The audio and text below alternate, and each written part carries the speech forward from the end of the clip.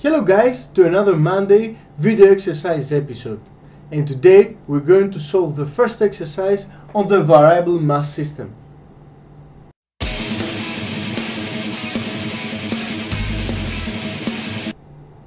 We have talked about variable mass system on our part 7 episode of Introduction to Momentum.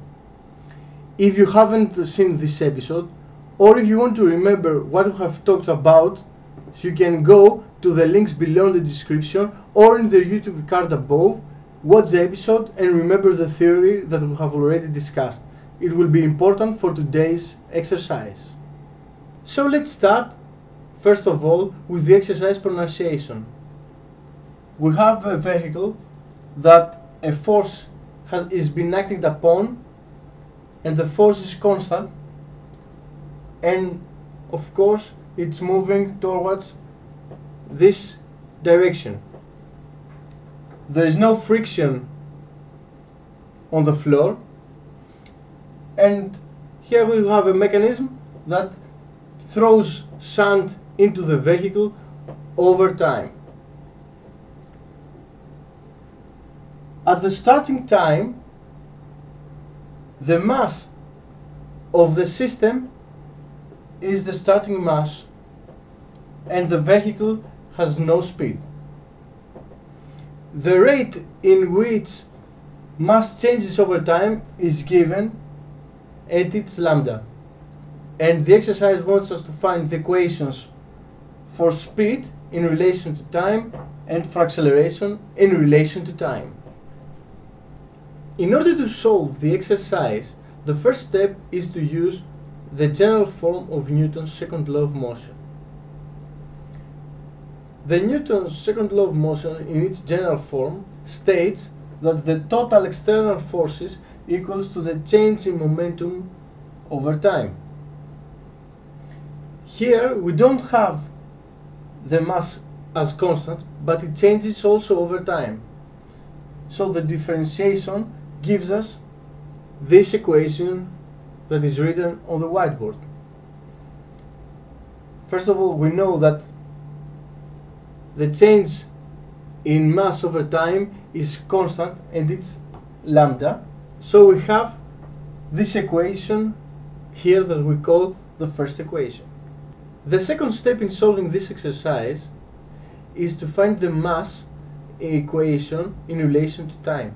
In order to do this, we will use the integration in the definition of the rate of mass change over time and it is as it's uh, depicted on the whiteboard.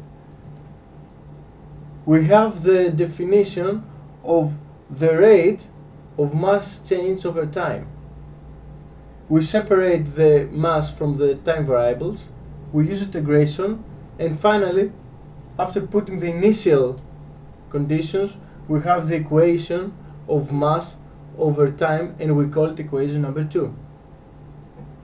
So, the third part of the solution of this exercise includes the first and the second equation that we found in the previous step 1 and step 2 of the solution of this exercise. So we put them together as it's depicted here on the whiteboard. We separate the time and the speed variables. We use integration and by solving this equation we find is the equation of speed that we call the equation number 3. So, the last part of the solution of this exercise includes first of all the definition of acceleration, then the differentiation of the third equation or that we found before in, in the part 3 of the solution of this exercise in order to find the equation of acceleration over time.